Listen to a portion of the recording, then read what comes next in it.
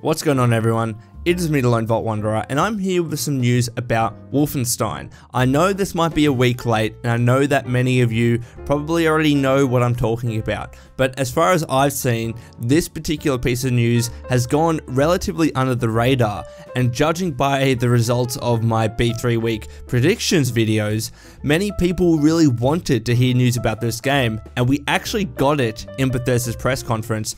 We just didn't really know about it at the time. So if you have a look at the picture on the screen right now, it might seem very familiar. It's because this was shown, I believe, at the very start of Bethesda's E3 press conference, and effectively it's a bunch of names on the left there of different games published by Bethesda, and also of Bethesda.net or BethNet, as it's mentioned there, and also B3, which was the hashtag for the Bethesda E3 press conference. And if you move your eyes just to the top of that list there, you'll notice a couple of things. It says Wolfenstein 3D New Order, Old Blood, and New Colossus. Now of course Wolf 3D is referring to Wolfenstein 3D, New Order is referring to Wolfenstein the New Order, and Old Blood is referring to Wolfenstein the Old Blood, which was a DLC for that game. But then for the next one down on the list, we have something called New Colossus, and then after that we have all the Doom listings. So by implication, this New Colossus listing seems to be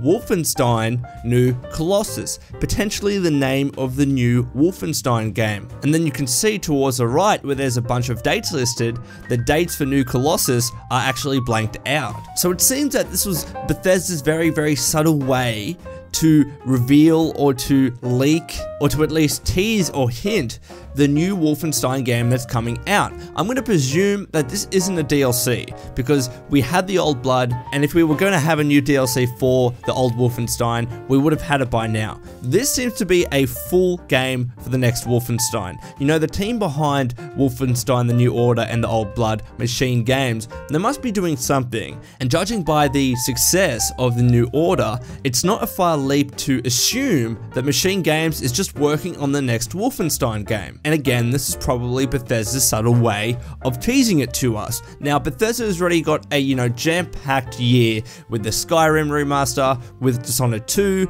then they've got Quake coming up, we've still got Fallout 4 DLC, so it does make sense that they didn't want to at least talk about the next Wolfenstein game, potentially called New Colossus, in their B3 press conference, because they had so many other things to talk about, and they probably have a very, very full and jam-packed release schedule, at least for the next year, but is this something we're going to be hearing more about at next year's E3 conference? I think it's a possibility. Last year, Bethesda had Fallout 4 as its highlight of the show. This year, it was Dishonored 2. Is next year going to be Wolfenstein The New Colossus? I think so. I'm going to bet now that it will be the highlight of that show, and we're going to be hearing maybe more about it in the lead up towards B3. Or maybe they'll keep it a really big secret like they did with Quake, because no one heard anything about that game, and that was the first thing that they talked about. And I think Bethesda was pretty proud that they could keep that game a secret without it being leaked before the press conference, unlike Fallout 4. So anyways, everyone, I would love to get your thoughts on this particular topic. Please let me know in the comments below. Are you excited for the next Wolfenstein game?